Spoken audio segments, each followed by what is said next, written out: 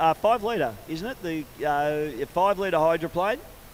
And we have a blown alcohol displacement. Now, on paper, the blown alcohol displacement should win this. However, Sam Lucas beat both the blown alcohol displacements in the Cup. So let's see what happens. Here we go.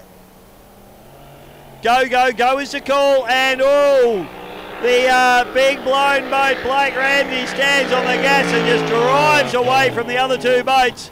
Sammy Lucas and Calvin McCanch have a good run down into turn number one, side by side. But have a look.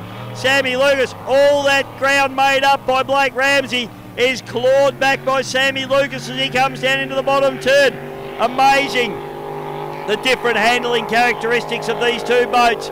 The big blown alcohol boat, absolute brute force. The outboard boat, finesse, style, cornering ability. Sammy Lucas, he goes past Blake Ramsey. And Blake goes, Oh, I've got a race on my hands now. He has to turn the wick up on the blown boat to try and get past Sammy.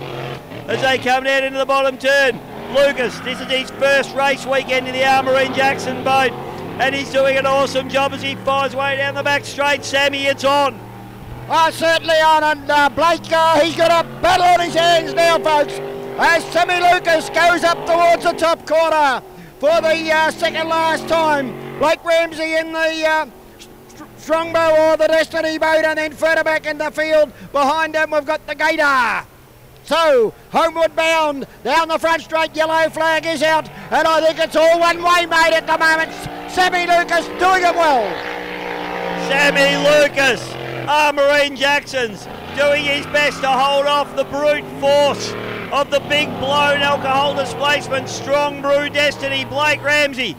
This is a new boat, a new deal for him. He's trying to get the power to the ground. He's trying to get this boat to go. But Sammy Lucas, this is a new deal for him as well. First weekend in a tunnel boat. Ramsey has another shot at him. He makes up a bit of ground. I'm not sure that he's going to get there though. Sammy Lucas, all the outboarders, the Victorian Outboard Club stand up and go wild as Sam Lucas wins the final race of the day at the Eppalock Gold Cup for 2021. Blake Ramsey into second place and Kelvin McCanch into third place in the Gator.